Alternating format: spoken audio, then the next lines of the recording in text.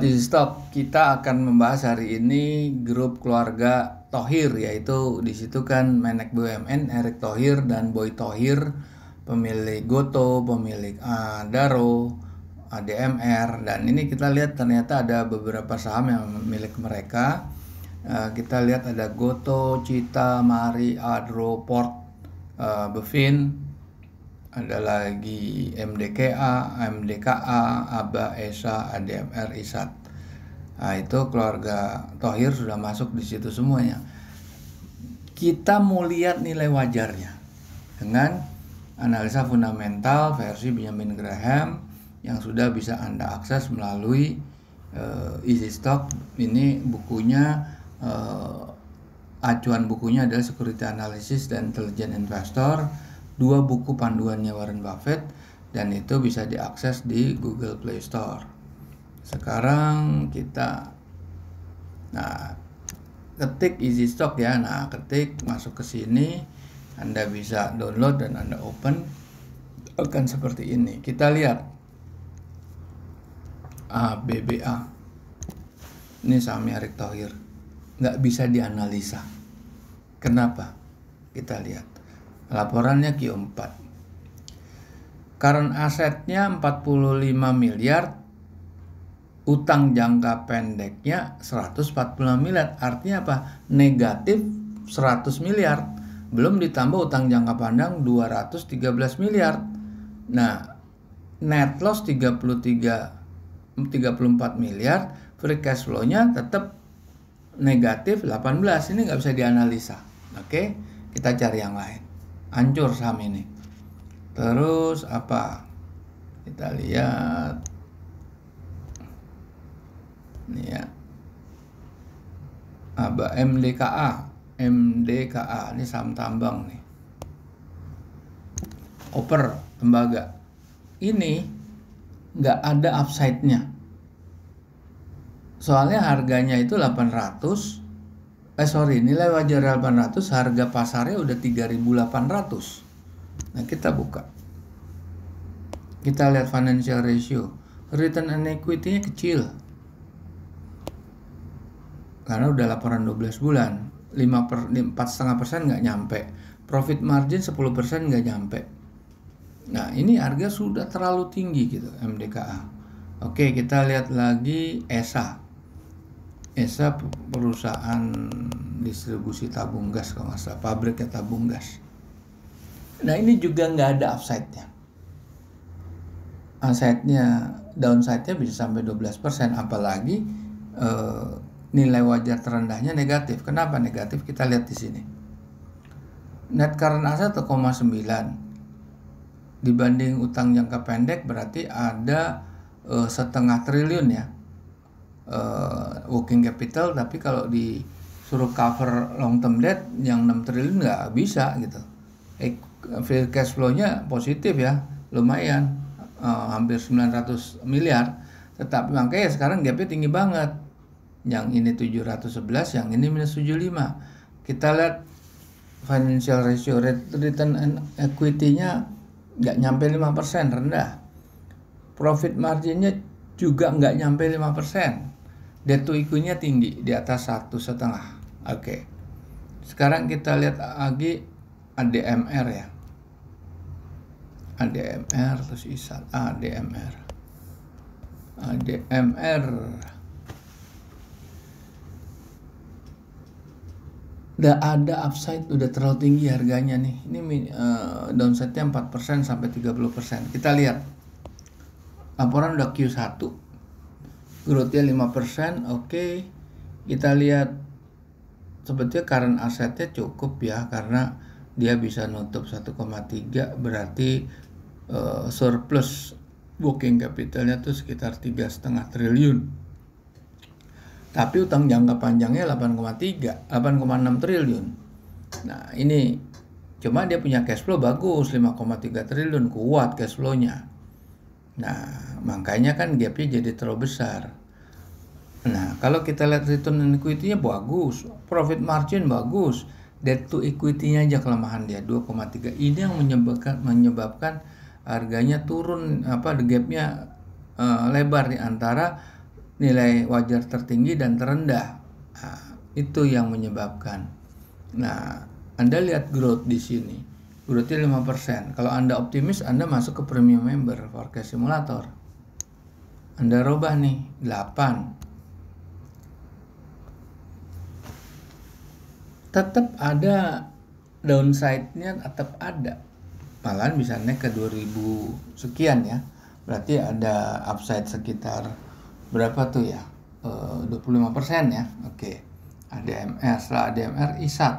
Ternyata keluarga Tohir masuk di Indosat. Ada upside-nya 16% tapi downside-nya dalam. Kenapa bisa begini? Kita lihat pasti itu perbedaan utang. Nah, di sini. Net current asset 5,9 triliun. Nah, short term debt-nya ini yang 2,28 triliun. Berarti kan negatif working capital sebesar 20 triliun lebih, ya kan? Tetapi dia punya free cash flow tuh 4 10,4 triliun tinggi. Makanya dia bisa makanya bisa bisa ada upside karena dia naik ke 7400 tapi downside-nya terlalu dalam. Nah kita lihat laporan keuangan. Return on equity 66% bagus. Profit margin 22% bagus.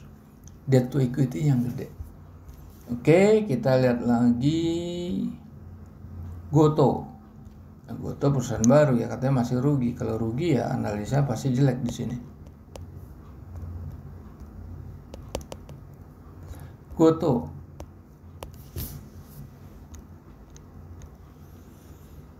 Hmm.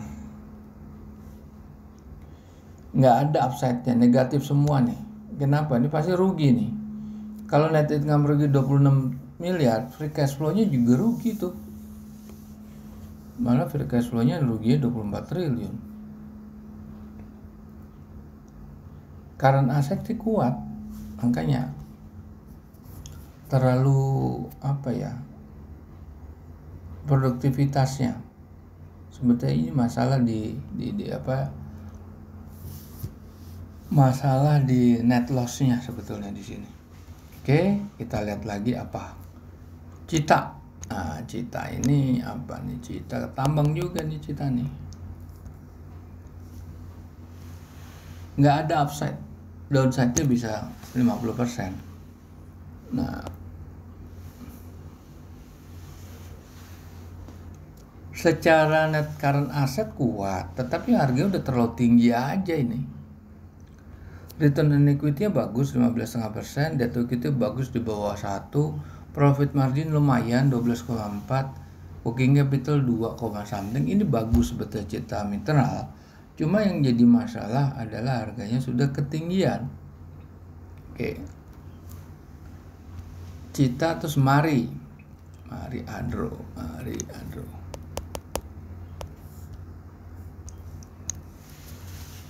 Nggak ada nggak bisa dianalisa nih saham ini ini kan mahaka ya radio ya.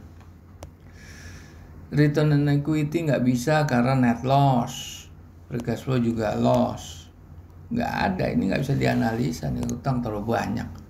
Net current asset masih bisa sih nutup utang jangka pendek jangka panjang tapi free cash flow-nya negatif masalahnya. Oke mari nggak bisa. Terus adro Andro sih masih bagus nih Andro.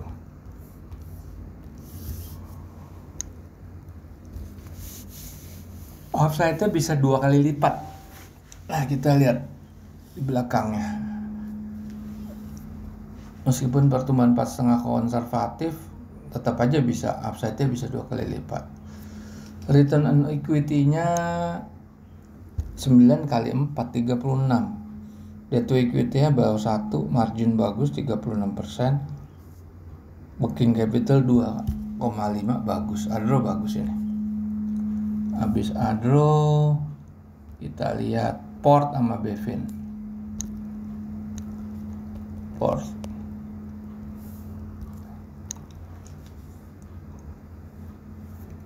ada upside-nya 18% ke 615 dari 520 tapi downside-nya lumayan dalam 103 140 lah.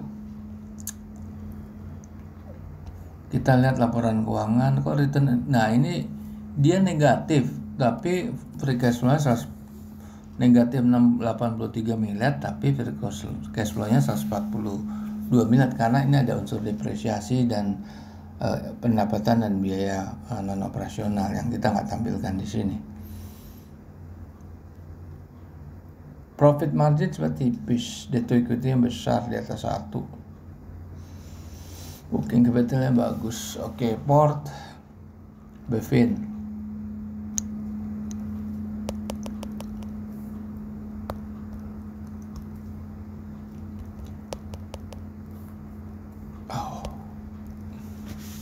Bevin. Nah ini upside-nya 19% nih. Ada upside-nya di sini.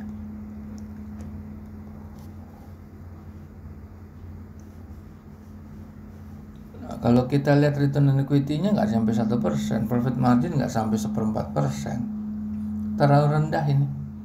Bevin nggak menarik ini. Oke. Okay.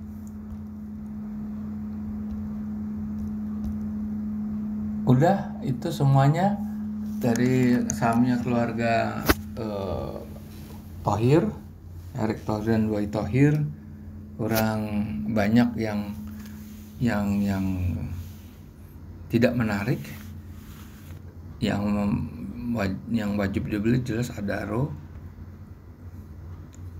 dan yang bisa uh, dipertimbangkan untuk dibeli seperti ADMR. Iya. Baik, para pemirsa, kita berjumpa lagi.